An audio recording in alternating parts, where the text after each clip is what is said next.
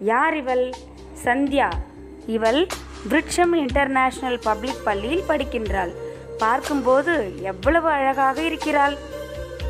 இவள் ஆள் மட்டும் அழகு இல்லை இவளுடைய வேலைகளும் அழகுதான். அவ்வளவு சுறுசுறுப்பான சுட்டிப்பெண். விருட்சம் பள்ளியில் கடந்த சில ஆண்டுகளாக படிக்கின்றாள் இந்த சுட்டிப்பெண். ஒருவருக்கு ஏதேனும் ஒரு துறையில்தான் திறமை இருக்கும். ஆனால் இவளுக்கு அனைத்து துறையிலும் திறமைதான். பாடல் நடிப்பு விளையாட்டு படிப்பு நடனம் பேச்சு. அப்பப்பா எவ்வளவு திறமைகள்? இவளது திறமைகளை ஆலமரமாய் வளர்த்தது விருட்சம் பள்ளிதான். ஆசிரியர்களை தெய்வமாக நினைப்பாள். படிப்பில் கண்ணும் கருத்துமாக இருப்பாள். ஆசிரியர்களுக்கும் பிடித்தமான மாணவி இவள். சக மாணவர்களுக்கும் உற்ற தோழி இவள். வீட்டில் பெற்றோருக்கு ஒப்பற்ற செல்ல மகள். பெற்றோரை மதிப்பால் மூத்தோர் சொல் கேட்பாள். மொத்தத்தில் இவள் முத்தான முத்துப்பெண். விருட்சம் பள்ளியின் சொத்து இவள். விருட்சம் தீவின் பார்வையாளர்களுக்கு மெய் சந்தியாவின் கனிவான வணக்கங்கள். தினம் ஒரு திருக்குறள் என்னும் நிகழ்ச்சியில் உங்களை காண்பது மிகவும் மகிழ்ச்சியாக இருக்கின்றது. இன்று நாம் பார்க்கவிருக்கும் கதை என்னவென்றால் மோகன் அப்படின்னு ஒருத்தர் இருந்தார். அவரு ஒரு மிக முக்கியமான ஆவணத்தை ஒருத்தர்கிட்ட கையெழுத்து வாங்கிட்டு வந்தா அவருக்கு பதவி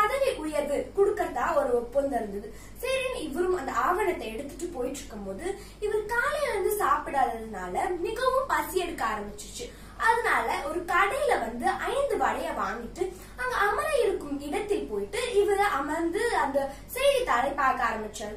எதிர ஒரு மனிதர் இவரை பார்த்து சிரிச்சார். ஆனா அவருடைய எளிமையான தோற்றத்தை இவர் பார்த்து சரி பார்த்தும் பார்க்காத மாதிரி திரும்பிட்டாரு. மோகன் ஒரு வடையை எடுத்து சாப்பிடும் போது எதிரே உட்கார்ந்து கொண்டிருந்த மனிதரும் ஒரு வடையை எடுத்து சாப்பிட்டார். மோகனுக்கு ஒண்ணுமே புரியல. ஏன்டா நம்மளோட வடையை எடுத்து சாப்பிடுறாரு அப்படின்னு சொல்லி ரொம்பவே குழப்பத்தோடவே விட்டுட்டாரு.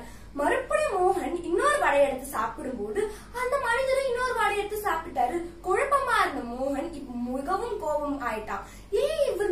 ஏன் எடுத்து சாப்பிடுறாரு? இந்த மனிதர்களே இப்படிதானா?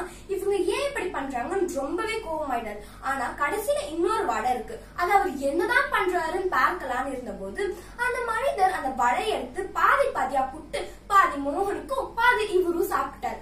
மோகன் இப்ப ரொம்பவே கோபமாயிட்டாரு ஏன் இந்த மாதிரி எல்லாம் பண்றாரு? அப்படின்னு சொல்லிட்டு எழுந்து அவர் ரொம்ப கத்திட்டாரு.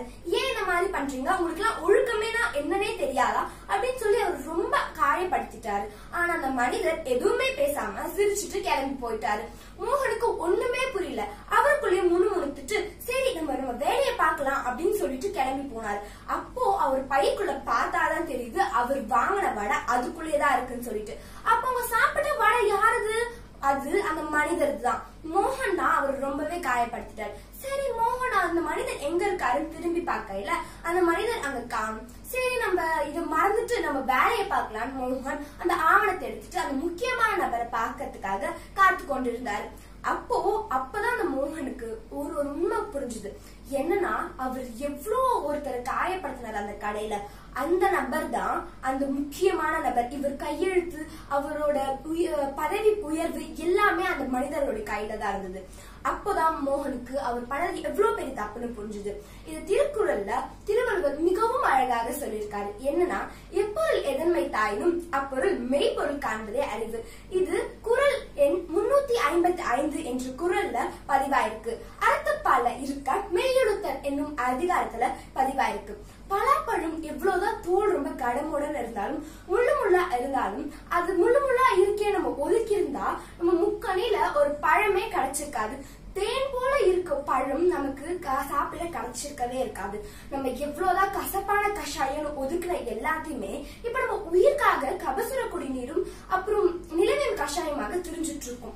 எப்பவும் வெளித்தோற்றத்தை கண்டு மயங்காம அதோட உண்மையான உணர்வையும் நோக்கத்தையும் புரிஞ்சுக்கிறது தான் அறிவுடைமை. இதை நீங்களும் கடைபிடிப்பீங்கன்னு நினைக்கிறேன். நன்றி வணக்கம்.